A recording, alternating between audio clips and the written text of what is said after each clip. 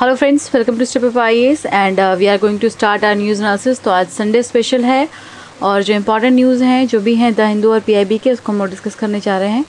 तो देखते हैं आज का पहला न्यूज़ देखिए ओखी के बारे में हमने काफ़ी डिस्कशन किया हुआ है पहले भी। तो यहाँ पे आज जो ये आ, मैंने इस स्लाइड को डाला है बिकॉज़ इसको आप एग्ज़ाम्पल के तौर पे इस्तेमाल कर सकते हैं अपने मेंस के एग्ज़ाम में। अगर डिजास्टर मैनेजमेंट से लेके कोई क्वेश्चन आता है आपके सामने तो आप इन चीज़ों को वहाँ लिख सकते हैं कि जैसा अभी ये इतना सीवियर साइक्लोन आया है लक्षद्वीप आइलैंड पे और इससे काफ़ी ज़्यादा वहाँ पे डिस्ट्रक्शन हो गया है और जो रिलीज़ वगैरह है उसकी अपेक्षा कर रहे हैं वहाँ पे लोग। अभी तक लोगों को काफ़ी मतलब रिलीफ नहीं मिल पाई है, काफ़ी डैमेजेस हुए हैं प्रॉपर्टी लॉस हुआ है और बहुत तरीके के वहाँ पे प्रॉब्लम्स आ रही हैं अभी खास करके। लेकिन उनको अभी जो हेल्प है बहुत अच्छे से नहीं मिल पा रही है तो कहीं ना कहीं एक हमारे पास ये लैक ऑफ़ प्रिपेयर्डनेस है सिस्टम में उसको इन्हांस करने की ज़रूरत है। तो जब आप इन स्टेटमेंट्स को लिखेंगे तो वहाँ पे आप इन चीज़ों का एग्ज़ाम्पल के तौर पे भी इस्तेमाल कर सकते हैं कि रिसेंटली ओखी साइक्लोन वॉज़ देयर और ये सारी दिक्कतें उसमें देखी गई हैं। तो इंपॉर्टेंट इशू है ये और प्रॉब्लम्स में तो इंपॉर्टेंट है ही। सिर्फ़ छोटा सा सवाल आ सकता है इससे जुड़ा हुआ कि ये क्या था? ये न्यूज़ में था तो ये क्या था? एक फ्लड था या साइक्लोन था या ये एक मिसाइल है? कुछ भी आ सकता है। तो उसमें आपको क्लियर होना चाहिए कि ये एक साइक्लोन है।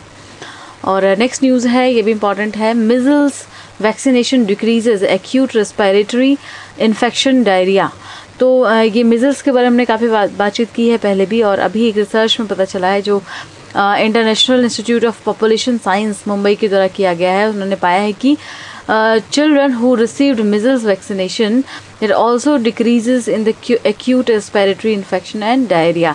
तो अगर जिन बच्चों को मिजल्स का वैक्सीनेशन पड़ जाता है, लग जाता है, उनको ये दिक्कतें भी नहीं आती हैं आगे चल कर के जो एक्यूट रेस्पिरेटरी इन्फेक्शन है और डायरिया की दिक्कत है। ये दिक्कतें उनमें नहीं देखी जाती हैं। मिजल्स के बारे में पता होना चाहिए आपको कि ये हाईली कंटेगियस डिज़ीज़ है। बहुत रैपिडली और बहुत ही स्पीडी वे में ये ट्रांसमिट होता है। और किस चीज़ से होता है? ये वायरस से होता है। याद रखिएगा belonging to the morbilli morbilli virus genus इस ग्रुप का ये वायरस होता है, इसकी वजह से मीजल्स होता है। And children below the five year are prone to the infection जो पाँच साल के कम बच्चे होते हैं, उनमें इन्फेक्शन होने के ज़्यादा चांसेस होते हैं।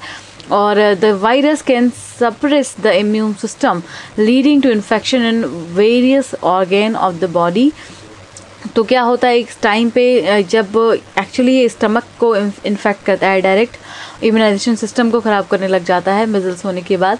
एंड जो न्यूमोनिया और डायरिया का खतरा है, वो बढ़ता चला जाता है। उसकी कॉम्प्लिकेशंस जो हैं, वो बढ़ते चले जाते हैं बच्चों में। और फिर जो सिचुएशन होती है, वो अनकंट्रोल हो जाती है और काफ़ी सारे डेथ्स देखने को मिलते हैं इसकी वजह से।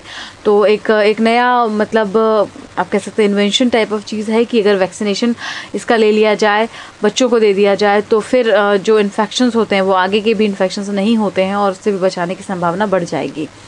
और नेक्स्ट न्यूज़ है, ये भी जोग्राफिकल एस्पेक्ट से क्वेश्चन आ सकता है। कृष्णागिरी डैम के बारे में पहले भी हमने डिस्कशन किया है इसके बारे में। तो कृष्णागिरी डैम जो है वो थेन पेन्नई रिवर पर है, याद रखिएगा। थेन पेन्नई रिवर पर है और ये तमिलनाडु में है। जो कृष्णागिरी डैम है, कहाँ पे है? ये रिवर तमिलनाडु में है, उसी पर ये डैम बनाया गया है। एंड ये बहुत पुराना डैम ऐसा नहीं कि रिसेंटली बना है तो जो फाइव ईयर प्लान था इंडिया का, उसी में इसको प्रपोज़ किया गया था। और फिर फाइव नाइनटीन फिफ्टी एट में इसको फिर ये ऑपरेशन में आ गया बन के तैयार हो गया था। तो छोटा सा न्यूज़ है बट ये इंपॉर्टेंट है, याद रखिए, कि कहाँ पे है, हो सकता है लोकेशन पूछ लिया जाए तो। नेक्स्ट न्यूज़ है हॉर्मिन फेस्टिवल को लेकर के। हॉर्बिन फेस्टिवल जो है, वो बहुत इंपॉर्टेंट है प्रिलिम्स के एस्पेक्ट से भी। और क्वेश्चन छोटा सा ही आ सकता है कि कहाँ मनाया जाता है, या फिर क्या इसके मतलब सिग्निफिकेंस क्या है इन सब का। तो इसमें आपको पता होना चाहिए कि ये एक से दस दिसंबर तक नागालैंड में मनाया जाता है, ठीक है? हॉर्नबिल एक बर्ड है, जिसको कि देवदूत भी बोलते हैं वहाँ पे, जो लोकल लोग हैं नागालैंड में, और उनको, उसकी पूजा की जाती है हॉर्नबिल की। तो ये जो फेस्टिवल है, इसका जो उद्देश्य था, वो ये था हॉर्नबिल के प्रिजर्वेशन को बढ़ाना एक्चुअली बहुत थ्रेट एक टाइम पे क्रिएट हो गया था हॉर्नबिल को लेकर के। तो उसके, उसको बचाने के लिए भी एक, ये फेस्टिवल ऑर्गेनाइज़ किया गया कि ताकि इनका कंजर्वेशन हो पाए। और जो दूसरा उद्देश्य है इसका, यहाँ, वह यहाँ के जो ट्राइबल पीपल्स हैं, उसको सेलिब्रेट करते हैं। And more than sixty percent of the population of Nagaland depends on the agriculture and therefore most of their festivals revolve around the agriculture तो फिर जो भी ट्राइबल लोग जो हैं, ज़ाहिर से बात है वो एग्रीकल्चर पे बेस्ड हैं। और जो भी पुरानी उनकी परंपरा होती आ रही है, उन पर बेस्ड हैं तो उसमें एग्रीकल्चर का पार्ट थोड़ा ज़्यादा है और इसी वजह से उनके जितने भी फेस्टिवल्स होते हैं, वो सारे ही फेस्टिवल्स एग्रीकल्चर से जुड़े हुए होते हैं। कोई है जो कि हार्वेस्टिंग के टाइम पे मनाया जा रहा है, कोई सोइंग सीज़न में मनाया जा रहा है तो आप देखेंगे कि सारी चीज़ें जो एग्रीकल्चर के आसपास घूमती रहती हैं। And to increase the inter tribal interaction and to promote cultural heritage of Nagaland, the government of Nagaland organizes the Hornbill Festival every year. तो जो गवर्नमेंट है नागालैंड के वो इसको ऑर्गेनाइज़ करते हैं हॉर्नबिल फेस्टिवल को और ये पहली बार 2000 में इसको ऑर्गेनाइज़ किया गया था इस फेस्टिवल को गवर्नमेंट के द्वारा अब हॉर्नबिल की बात कर रहे हैं तो ग्रेट हॉर्नबिल के बारे में भी जान लेते हैं it is also as the great Indian hornbill इसको ग्रेट इंडियन हॉर्नबिल भी बोलते हैं और the great piped sorry great pied hornbill it is the one of the larger number of the hornbill family ठीक है? काफ़ी लार्जर नंबर में पाए जाते हैं। And it is found in the Indian subcontinent and the south east Asia तो इसी reason में पाए जाते हैं। इंडियन का सब कॉन्टिनेंट में और साउथ ईस्ट एशिया में ये पाए जाते हैं। इनका कंजर्वेशन स्टेटस क्या है? तो ये नियर थ्रेटेंड है, याद रखिएगा। ये आईसीएन की रेड लिस्ट में नियर थ्रेटेंड है। मतलब अभी एंडेंजर्ड में या वलनरेबल में नहीं है, लेकिन ये नियर थ्रेटेंड हैं। तो इसमें ज़रूरत है इसको, उस पर थोड़ा ध्यान देने की बिकॉज़ इनका हैबिटेट लॉस हो रहा है हंटिंग की समस्या बहुत ज़्यादा है कुछ एरियाज़ में। और अगर साइट्स की बात करें तो अपेंडिक्स वन में आता है ये। And decline in the population have been noted in many areas such as Cambodia and uh, molecular approaches to study of their population diversity have been attempted. तो uh, काफ़ी ज़्यादा इसकी कोशिश की जा रही है इसको कंजर्व प्रिजर्व करने की। तो याद रखिएगा इसका कंजर्वेशन स्टेटस ये कहाँ मनाया जाता है uh, किस चीज़ से एसोसिएटेड है तो ये सारी बातें इंपॉर्टेंट हो जाएँगी। नेक्स्ट न्यूज़ है migratory bird start arriving in Chilka तो देखिए ये जो न्यूज़ है इसमें दो तीन बातें हम लोग यहाँ से ले सकते हैं। एक तो चिल्का जो लगून है वो इंपॉर्टेंट है उड़ीसा में है, याद रखिएगा पिटी के पॉइंट ऑफ़ व्यू से याद रखिएगा इसको। और जो आपका रामसर कन्वेंशन है, उसमें इसको मॉन्ट्रेक्स रिकॉर्ड में रखा गया था। लेकिन बाद में चूँकि जो जो भी ऐसे वाटर बॉडीज़ होते हैं, जैसे कि वेटलैंड्स हो गए, ये चीज़ें जब बहुत थ्रेट में आ जाती हैं तो उनको प्रिजर्व और प्रोटेक्ट करने के लिए उसमें डाला जाता है, रामसर कन्वेंशन में लाया जाता है और उसके मॉन्ट्रेक्स रिकॉर्ड में रखा जाता है। लेकिन अभी चिल्का में, चिल्का को जब लाया गया था, आप लोग इन्वायरमेंट में डिटेल में पढ़ेंगे इसके बारे में तो चिल्का को अब बाहर कर दिया गया है उस लिस्ट से क्योंकि इसमें जो इसकी जो हालत है वो अच्छी हो गई है, इसमें सुधार आ गया है गवर्नमेंट ने बहुत अच्छे से काम किया और ये अब उस लिस्ट से बाहर आ चुका है। तो अब इसकी जो पोजीशन है वो ठीक है, थोड़ी आप ये समझ सकते हैं। और ये जो न्यूज़ हम डिस्कस कर रहे हैं इट शोज़ कि जो चिल्का लेक है लगून है, वो अब बेहतर हो चुका है क्योंकि जो माइग्रेटरी बर्ड्स हैं, वहाँ पे बड़े तादाद में आने लग तो देखिए, जितने भी ये माइग्रेटरी बर्ड्स आते हैं, उसमें ज़्यादातर कहाँ पे आते हैं? नाला बन नाला बना बर्ड सेंचुरी तो याद रखिएगा, ये नाला बना बर्ड सेंचुरी जो है, वो चिल्का में ही है। इनसाइड चिल्का तो क्वेश्चन पूछा जा सकता है कि ये सेंचुरी कहाँ है? तो चिल्का लेक में है, इसका मतलब कहाँ? ओडिशा में है ये, ठीक है? और, चिल्का के लिए और कौन सी बात इंपॉर्टेंट है? ये वाली कि it is the Asia's largest brackish water lagoon याद रखिए, ये क्या है? ब्रैकिश वाटर लगून है। लार्जेस्ट ब्रैकिश वाटर लगून कौन सा है? चिल्का है। तो आज आपको कमेंट बॉक्स में आंसर बताना है कि largest fresh water lake India में कौन सी है? उसका नाम कमेंट बॉक्स में बताना है। और देखिए, आप लोग आंसर क्या कीजिए? अगर यहाँ पे कुछ क्वेश्चंस आते हैं और आपके कमेंट्स आते हैं तो ऐसा नहीं, हम उसको उसको रिव्यू भी करते हैं। तो बेहतर रहेगा। अगर आप कमेंट बॉक्स में आंसर लिखेंगे तो it will feel motivated also तो आज आपको आंसर बताना है कमेंट बॉक्स में कि इंडिया का लार्जेस्ट फ्रेश वाटर लेक कौन सा है? नेक्स्ट न्यूज़ है देखिए, ये योजना हम लोग डिस्कस करते हैं रोज़ तो उसमें से आज एक है प्रधानमंत्री खनिज क्षेत्र कल्याण योजना। तो इसमें से क्वेश्चंस इनडायरेक्टली बन भी सकते हैं। ये क्या है जानना ज़रूरी है। It is a new program mean to provide the welfare of areas and people affected by the mining related operations तो ऐसे लोग जो इन ऑपरेशन से माइनिंग रिलेटेड ऑपरेशन से थोड़े परेशान हो जाते हैं, क्योंकि जो वो वाला एरिया है जहाँ पे कई सारे माइंस पाए जाते हैं, वहाँ के लोगों के लिए इस प्रोग्राम को लाया गया है। उस एरिया के वेलफेयर के लिए इस योजना को लाया गया है, ठीक है? And the objective of this P M K K K Y scheme क्या है इसके objectives that implemented various development and welfare projects programs in mining affected areas है ना? These projects program will be complementing the existing on going schemes तो जो already schemes चल रहे हैं सेंट्रल गवर्नमेंट या इसके स्टेट गवर्नमेंट्स के द्वारा वहाँ के वेलफेयर के लिए उसी को कॉम्प्लीमेंट करने के लिए इसको लाया गया है। इसमें किसके वेल वेलफेयर की बात की गई है? जो लोग उन एरियाज़ में रहते हैं माइनिंग अफेक्टेड जो एरियाज़ में लोग रहते हैं, उनके वेलफेयर की बात की गई है। And to ensure the long term sustainable livelihood for affected people in the mining areas तो उनके लॉन्ग टर्म सस्टेनेबल डेवलपमेंट कह सकते हैं लाइवलीहुड कह सकते हैं सोशियो इकोनॉमिक डेवलपमेंट उन लोगों का एनवायरनमेंट हेल्थ इश्यूज़ जो उनके साथ आता है बहुत ज़्यादा तो उसको मिटिगेट करने के लिए इसको लाया गया है। And the Pradhan Mantri Kharif Kshetra Kalyan Yojana will be implemented by the District Mineral Foundation of the respective district using the fund accruing the DMF तो जो डिस्ट्रिक्ट मिनरल फाउंडेशन है उनके द्वारा इस पूरी योजना को इम्प्लीमेंट किया जाएगा नेक्स्ट न्यूज़ बहुत इंपॉर्टेंट है, उस्ताद स्कीम। आपने पहले भी पढ़ा होगा, ये क्या है? It aims at preserving and promoting the rich heritage of the traditional art and craft of the minority communities तो जो आर्ट एंड क्राफ्ट हैं ट्रेडिशनली जो चलते आ रही हैं चीज़ें, उसकी, उसको बचाने के लिए, उस उस धरोहर को रखने के लिए इस उस्ताद स्कीम को लाया गया है। इसको इम्प्लीमेंट किसके द्वारा किया गया है? तो मिनिस्ट्री ऑफ़ माइनॉरिटी अफेयर्स के द्वारा लाया गया है इसको। और ये एक फ्लैगशिप प्रोग्राम फ्लैगशिप प्रोग्राम का मतलब होता है कि जो जिस प्रोग्राम के तहत और कई सारी चीज़ों को शामिल किया जाए तो जो मिनिस्ट्री ऑफ़ माइनॉरिटी अफेयर्स है, उनका ये फ्लैगशिप प्रोग्राम है उस्ताद स्कीम।